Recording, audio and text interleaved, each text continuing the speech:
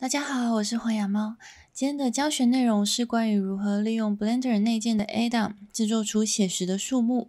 我们会帮树叶和树干上材质，并介绍如何设定简单的树叶动画。首先打开 Blender 之后呢，按 A X 把画面上的所有物件都 delete 掉。那因为等一下我们会呃主要操作空间会在左下角，所以今天的按键提示都会在右下角这个地方。删除掉之后，我们来到 Edit Preferences，这里总共要搜寻两个东西，第一个是 Sapling，Add Curve，Sapling Tree Drum，先把这个打勾。第二个要开启的是 Node Wrangler，因为我们等一下会帮树叶上材质会使用到 Node Wrangler。两个都打勾之后呢，按 Shift A Curve，这里有个 Sapling Tree Drum。这是我们刚刚打勾 A down，所以才会有的功能选项。点选它之后，正中间就出现了一棵树。那这棵树呢？呃，左下角这里可以把这边小三角形点开。点开之后呢，这里有非常多的设定可以做使用。那这些都是如何去形塑出一棵树要长什么样子，以及我们会在这边帮它设定动画。这里比较要注意的事情是，如果你点到了其他地方。或是点到树本身的话，刚刚这边的选项就会不见了。那如果你没有做其他多余的动作，按 F 九，它的选单同样会再次在你的滑鼠在地方出现。只是如果你现在新增一个 Cube，然后有做移动、有做其他点选的话，按 F 九，它是不会再出现，它只会出现你上一个使用的动作。所以现在把它全部都删掉，按 Shift A Curve Sapling Tree Drum，点选它。那这里我们就先不点选其他的东西。另外一个要注意的点是，假设你现在调了一个东西，然后很顺手的按 Ctrl Z 回到上一动的话，同样这个数也会直接不见。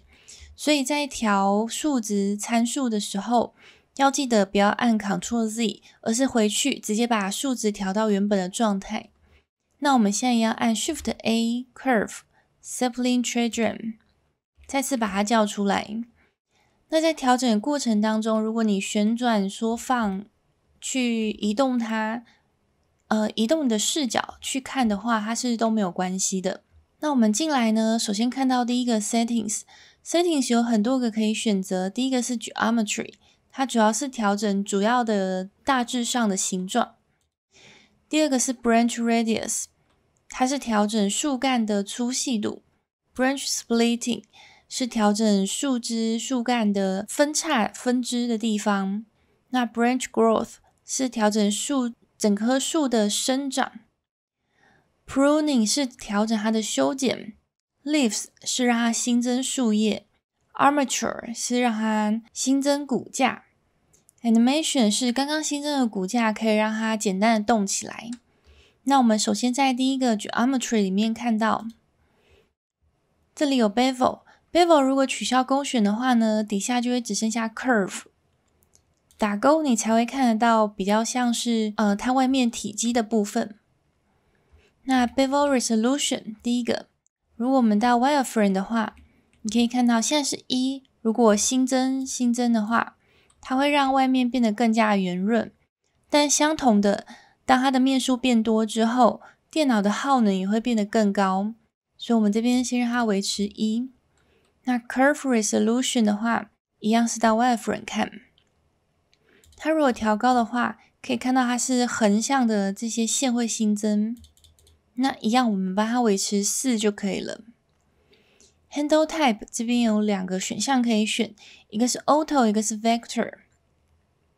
如果点 Vector 的话，就会发现它的嗯变得比较低面数的感觉，所以它比较像是一节一节的。那如果是选 Auto 的话呢，它就会比较平顺。但是相对，因为 Auto 会让它比较平顺的关系，也代表它使用的线跟面会比较多，所需要耗的耗能也会比较高。再来是 Shape。Shape 这边有很多很多可以去做选择，那我们可以来看它。例如，我选择第一个，选不同的。那这里的不同选择呢，都是这些分布的方式，树枝生长的方式不同。那你可以去每一个都去探索，看哪一个比较符合你的需求。那不用特别去记说哪一个词搭配的是什么形状，因为你下一次重新再做这棵树的时候，你一定不会记得的。底下还有一些参数可以调整，像是 branch distribution。你可以左键点选之后左右移动，就可以看到它的功能是什么。那像是我们很常看到的 random seed 是，嗯，你每一次点选不同的 seed 的数值的话呢，它都会生成不同的树给你，可以让它产生更多的变化性。那 scale 的话呢，就是整棵树的大小，scale variation 就是树的大小的变化。那这里有个比较特别的是，如果我现在调到这个，假设我非常的满意，我现在调整的数，那我希望下次进来新增数的时候，不用再重新调整那些数值一次的话，你也可以在 preset 这边，假设，嗯，我输入它叫做 my tree，我的树，然后你可以看到底下这边有 load preset，这边有很多个选项可以选。那假设我现在非常满意这一个。然后我点选 Export Preset，点选它之后，我们到 Load Preset 这里，它就会出现 My Tree，就是我刚刚所储存进去的树的种类。除了以上这些数值可以去做调整之外呢，它最底下的 Load Preset 也有一些选项可以让我们在进来的时候就直接来做选择。那我现在把它视窗往后拉一点，这样等一下可以看得到树长什么样子。第一个是 Willow。Willow 呢，它指的是柳树。第二个是 White Birch，White Birch 是白桦树。第三个是 Weeping Willow，它是比较垂下来的柳树。Small Pine，Small Pine 是小的松叶树。Small Maple，这是小的枫叶树。Quaking Aspen。那叫颤抖的白杨，因为它的呃叶子在被风吹过的时候，是以颤抖的方式在抖动的。Japanese maple，这是日本的枫树。Douglas fir，这是花旗松树。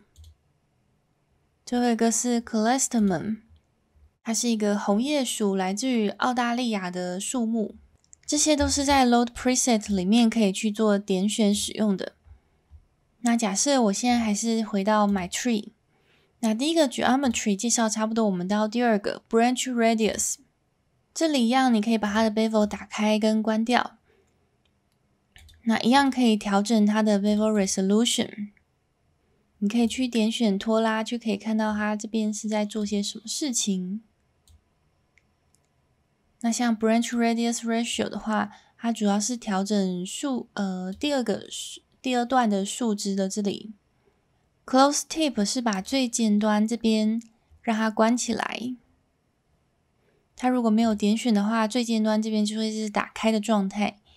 那打勾，它就会把它关起来。那在我们等一下接下来的选单当中，如果你看到的是像这样子一二三四一二三四排列下来的数值的话，第一个它指的都是第一根的树干本身。所以，如果你去做移动的话，它都是以最中间的树干本身作为第一个阶段。第二阶，呃，它应该说阶层。第二阶层的话是树干之后再往外长的树干，好像应该说是树枝。它是第一阶段的，呃，第一阶层的树干之后再往外面长的第二阶段的树枝。所以去让它变大变小，就可以看到它变化。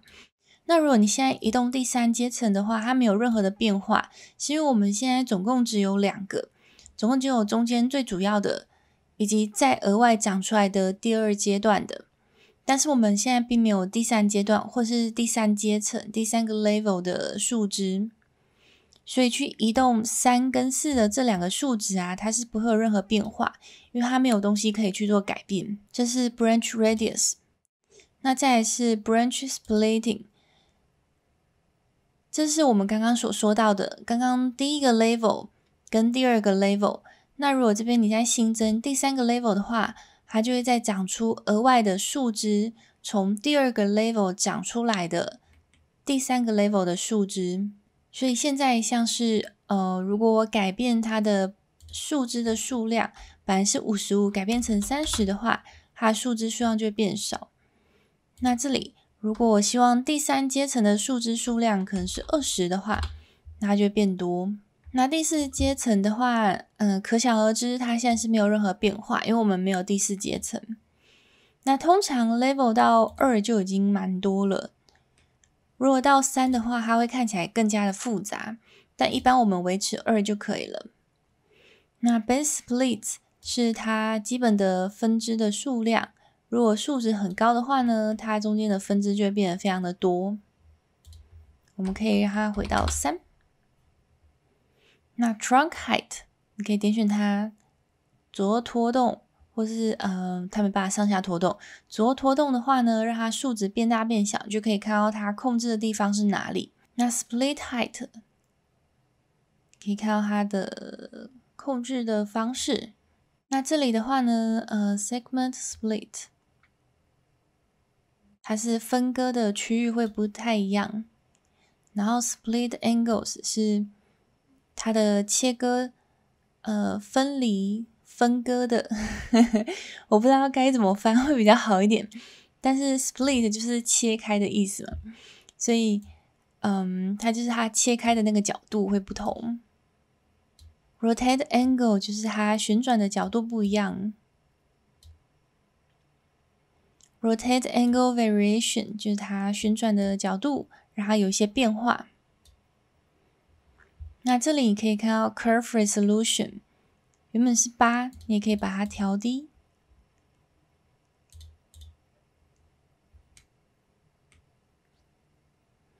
那这里是 branch splitting，接下来我们看到 pruning，pruning 是修剪的意思。它预设是关起来，你可以把它打勾打开，它就会出现一个像这样子的，呃，两个平面的形状。那这里的话，一样也是你可以去做拖动，然后看它会做什么。那基本上就是，如果被这个平面覆盖到的地方的话，就帮你修剪掉。像这个，它把它整个压下去，就帮它修剪了非常多的树枝的部分。那这里可以把它打勾，取消选取，它就不会有修剪的作用。那我们再到呃树叶。骨架跟动画之前，我们回到 geometry。我今天想要做的树枝是 load preset，这边有一个 small maple，我们用嗯小枫叶来当做示范。那 geometry 这里点选，我们可以回到嗯不是 radius，splitting 好了。它的预设的 branches splitting 其实很高，所以我现在把它改成五十就好了。那我们现在来到 leaves，leaves 是树叶，树叶预设是没有打开的。如果想要让它看见树叶的话呢，可以按 show leaves，那它就会出现。那我们现在树叶长的形状呢，都是六边形，可以看到这边的 leaf shape。树叶的形状是 hexagonal，它是六边形。那点选它，我们把它改成第二个 rectangular，让它变成呃长方形就可以了。那我们等下可以再帮它做调整。那现在的树叶的大小有点太小了，所以我们按 leaf scale 这边把它改成零点五，让它变大一点。那树叶我现在觉得它长得很满意，我没有在做调整。我们接下来到 armature。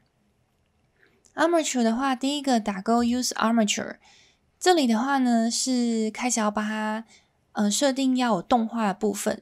但是如果你只是单纯想要做一棵树，并没有让它要动起来的话呢，Armature 跟 Animation 这边就可以都不用理它。那我们现在希望它动起来，所以 Armature 这边打勾 Use Armature，然后 Make Mesh 的意思是我们现在正中间的这个树干、树枝的部分。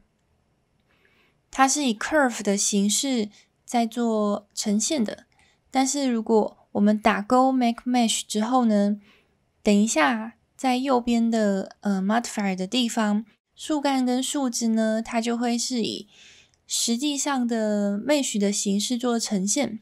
也就是说，它就变成是以点所连线出来，然后并且把它附加一个 Skin Modifier。这里两个都打勾之后呢，我们就可以来到 Animation。Animation 第一个打勾 Armature Animation，它指的呢就是它现在把我们刚刚所打勾的那个 Armature 的骨架覆盖到树枝跟树叶身上。那打勾第二个 Leaf Animation 的话呢，是我们等一下要做树叶的动画。第三个 Fast Preview 是，如果今天你的电脑并没有到非常的好，或是你只是单纯想要在预览的时候省效能的话，就可以把它打勾，那它就会暂时把这个，嗯，我们刚刚所做出来的那个树干跟树枝的 volume，就它的体积，先让它暂时看不到，这样在跑动画的时候速度就会变得比较快一点，因为它少算了很多的面数。那 Animation Speed 预设是一。Loop frames 的话，它这个有点酷。假设我现在输入一百，那它就代表我们等一下在播放树叶动画跟树枝、树干动画的时候，它是以一百个 frames 为准去做 looping 的。所以，我们现在底下它预设是一到两百五十，我们可以把二五零这边输入一百，然后你可以按这个箭头键，或是按空白键。它就会开始进行树叶的动画。那你可以发现到一百跳回一的时候呢，它中间并没有一个很明显的停顿感，也就是说，它这个动画是一个 looping 的形式在跑的。那我们按空白键暂停，回到一。那回到一之后，刚刚的选单不见了，我可以按 F 九，再把刚刚的选单叫出来。那这里的话，你可以帮它调整，呃，风的强度 （overall wind strength）。原本预设是一，假设你把它改成五，然后按空白键，它就会吹的比较大力一点。那 F 九，我们还是把它改成一。那以这样的形式去做设定就可以了。那回到一，这边怎么回到了两百五呢？我们回到一百。那以上就是使用 Sapling Add-on 的过程，可以借由调整参数的方式去制作出一棵树。它是一个很省时省力、省时间，而且非常有效率的一种做树的方式。而且它内建一个 Animation，所以你在做 Animation 的过程当中就会非常的快速，不用自己去帮它绑骨架。那接下来我们要介绍怎么样去帮树叶跟树干上材质。树干这里的话呢，它现在还是以线点线面呃点线的方式呈现。如果你想要看它长什么样子的话，可以到 Modifier 这边 Skin，然后把这个打开，你就可以看到它实际上是确实是有这个嗯树干跟树枝的体积的。那空白键让它跑，可以发现左边的 FPS 这边左上角，它是十二十三在这边跳。那我们预设是二四，所以十二十三的话，就是原本应该要的时间的一半。那之所以跑那么慢，就是因为体积在做动画的时候啊，它会耗费比较多的效能。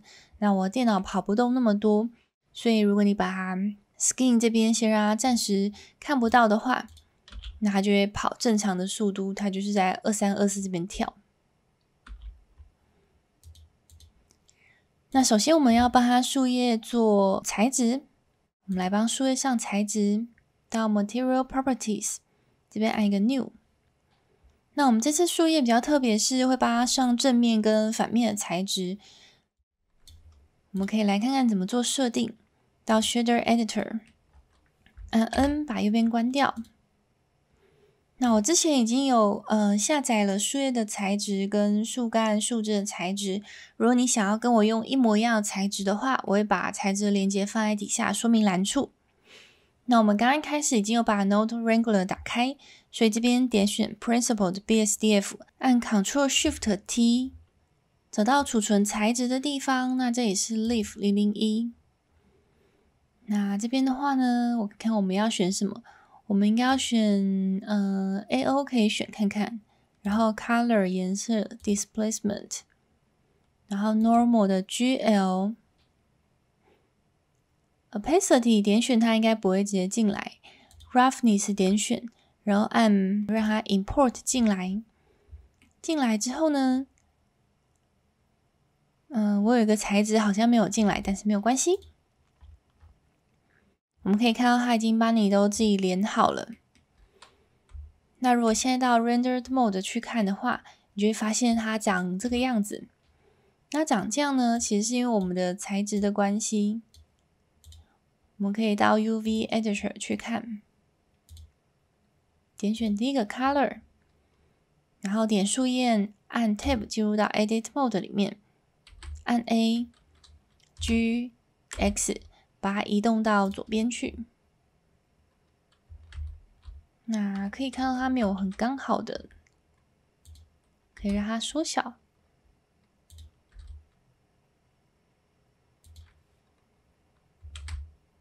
那差在差不多的位置，好，它这样是在差不多位置。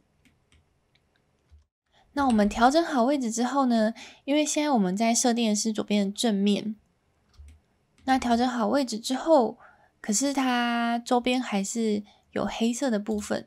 我们现在在 EV，如果到 Cycles 的话，它一样是有黑色的部分。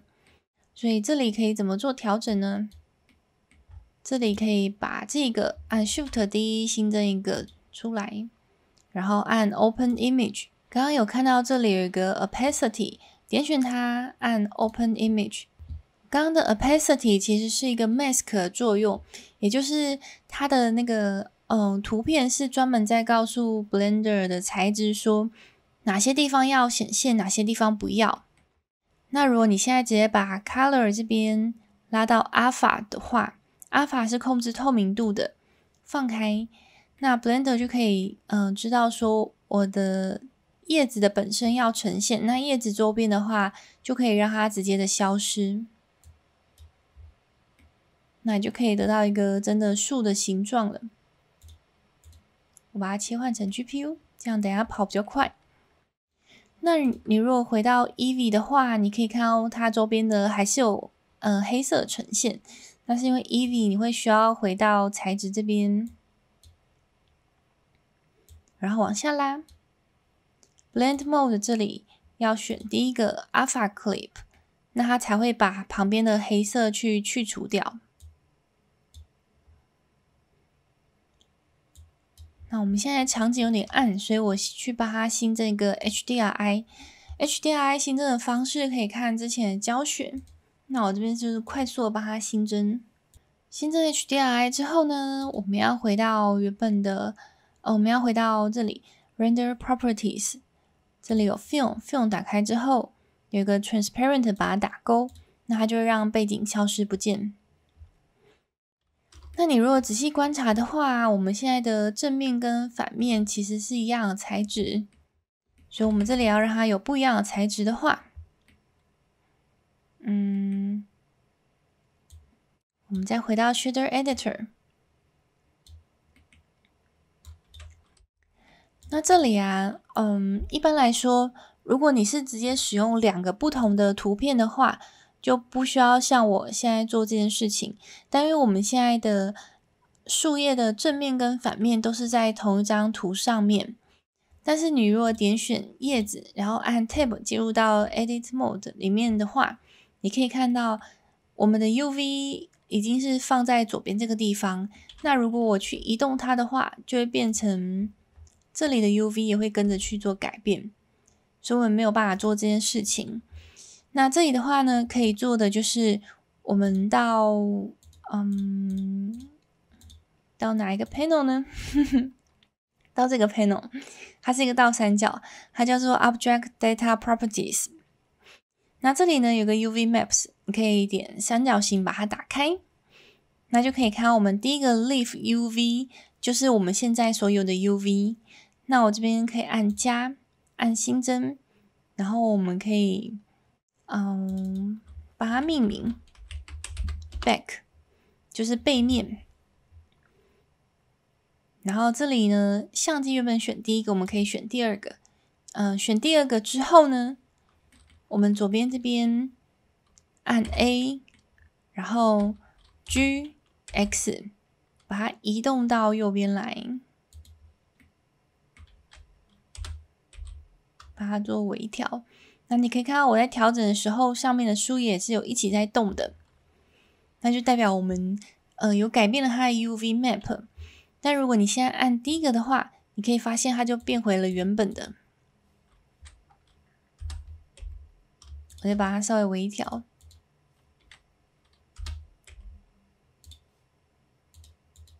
好，他们现在看起来像是呃比较在正确的位置。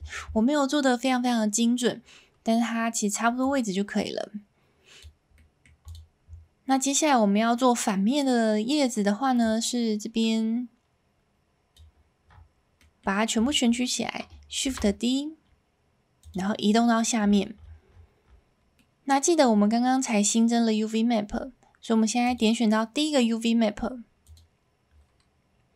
然后 Texture Coordinate 这一节把它删掉，Shift A Search，然后呃帮它输入 UV Map，之后这里啊就点选 Back，就我们刚刚做的第二个 UV Map，然后把 UV 直接连到 Vector。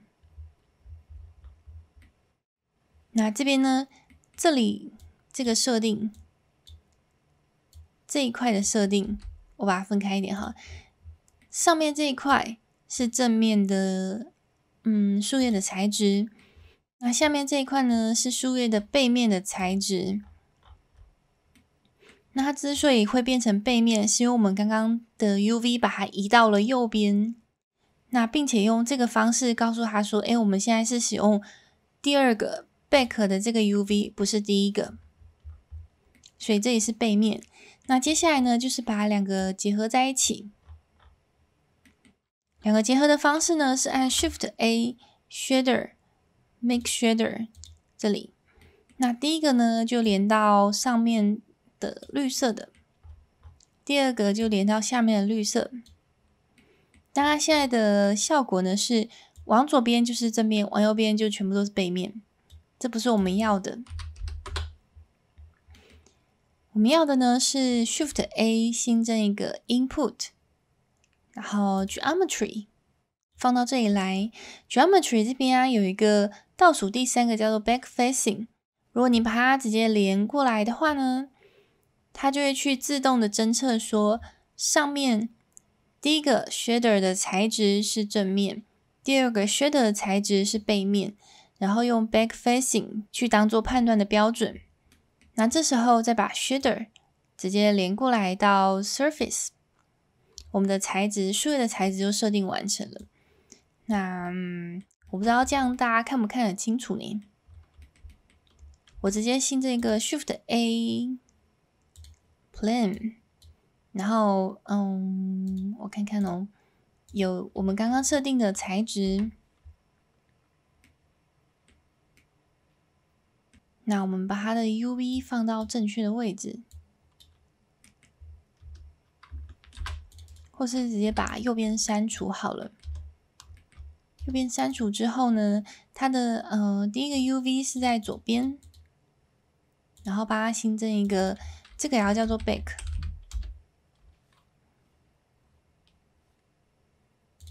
然后点选这个小相机之后，嗯，把它的按 A。G X 放到右边，然后再回到第一个。那这个时候，你就可以看到它的正面跟反面。这个是正面，这个就是反面。这里就看得比较清楚。那我们刚刚做的这个就是这个意思。我们刚刚帮树叶做，就是它一定会有个正面跟反面。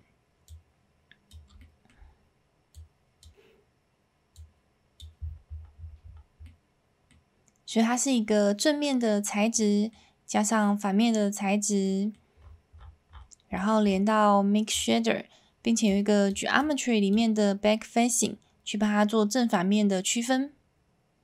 这是树叶的材质。那我们现在来帮树枝、树干做材质，它的材质就会比较简单。我们首先把 Skin Modifier 先打开，然后把它新增一个树干、树叶呃树干树枝的材质 A 点，找到 Principled BSDF 的位置，然后按 Ctrl Shift T 回到上一个，然后我们这边有个 Bark，Bark 的话呢，一样就是点选点选需要的。然后按 import，import 之后呢，我其实我不知道到底哪一个没有进来耶，但是没有关系。进来之后，因为它本身没有 UV 的关系，所以看不到效果。我们直接把它改成 object。object 之后呢，如果你有看过我之前的材质教学的话，我们有教过，如果你要使用 object，那你在 image texture 这边都要把。把它改成 boxing，所以我们现在帮每一个快速的改成 boxing，b boxing，box，然后 blend 拉到一，那就很快速的做好这个材质了。那这边的 scale 通常你可以给把它做一些调整，